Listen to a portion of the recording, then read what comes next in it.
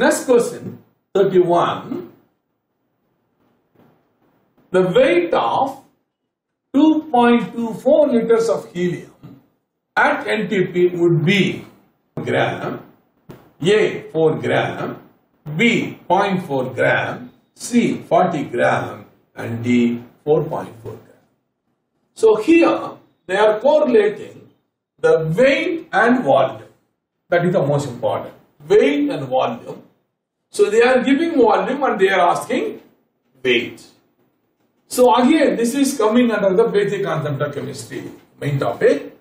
And the subtopic is atom molecular mole concept or atomic equivalent and molecular mass. Because this mass is asked, so atomic equivalent molecular mass. So let me calculate, easily you can follow. So as usual, mole can be expressed by three ways. Molar mass, molar particle that is uh, Avogadro number, molar volume in the case of gases that is 22.4 liters. But here they are correlating only mass and uh, what on the uh, what the question is they are asking there mass and volume they are. So it is not particles. So mass and volume they are correlating.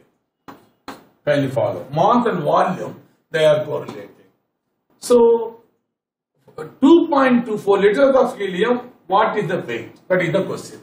Okay, Kindly follow.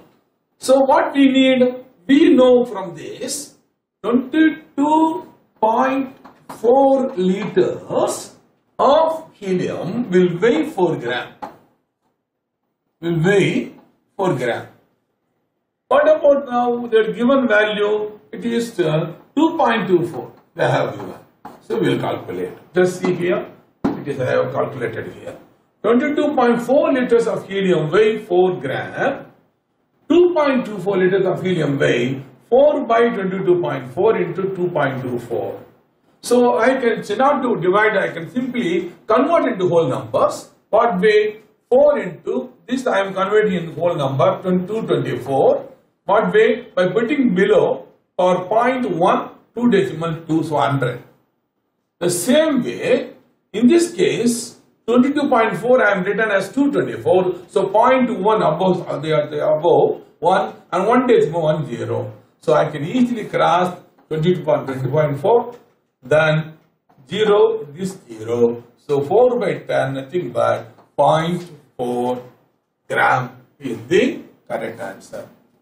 This is the correct answer. So let us go and see the answer.